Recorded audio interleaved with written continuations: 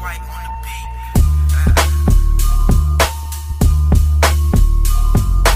beat. Yo, what's good, YouTube? It's your boy Calsoscope. Been a minute. Sorry, I've been real busy with work and shit, but back with another video. Today's gonna be my second, well, second, yeah, wave haircut. Uh, I'm gonna schedule appointment for about one, and we're gonna see the results on my waves. Hopefully, I made a lot of progress. I've been wolfing for about five weeks now, almost six. But um, yeah, right now I'm just combing out my hair and after that I'm gonna get a wash session in, then a little brush session, then we're gonna head to the shop and I'm gonna show you guys the results of my haircut. And now I'll pick it I'll pick it backwards for you just to see how long my hair is. Alright, I'll be right back. So y'all see it, bro. Your boy has a legit afro. Five weeks of wolfing, yep. My hair grew like mad fast, but we're gonna see if we had a lot of progress. Hopefully we did. I'm gonna go to my boy Kayam. He's nice with it. Probably one of the best barbers in Western Mass. Shout out Global Cuts. So we'll be back soon. Let's see how it goes. What's good, YouTube? Just got back from the shop.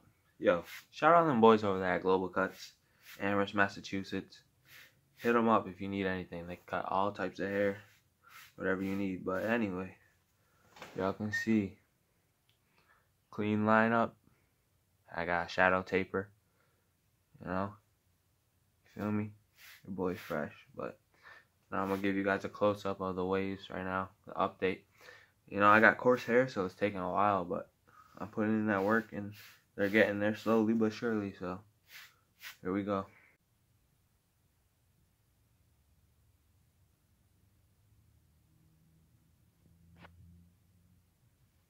Yep, so that's the view right now.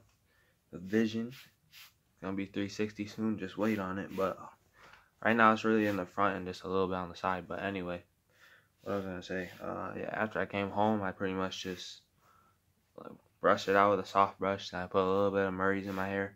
You can put any pomade that you use in your hair or moisturizer, your curl enhancing smoothie or whatever you want. But um, yeah, that's pretty much it. And um, also what you want to make sure of when you get a haircut is you want to wash your hair always before you get a cut. And then after you wash your hair, you don't want to wash your hair for about a week because if you wash your hair right after you get a cut, especially, that's going to mess up your wave pattern.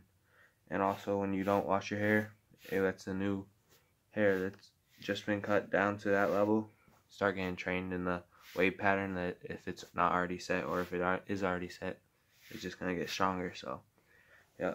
I'll check you all out. It's your boy Calso Scope. Peace. On another note, though, on another note, I know you see these dancing in my ear. Hold on. Hold on. Uh, other side, other side. Get the view. Yeah. I know you see them. Dancing. No. These aren't the cloudy ones. These aren't the cloudy ones, boy. Come on. Shout out my boy for hooking me up. You already know. Flexing.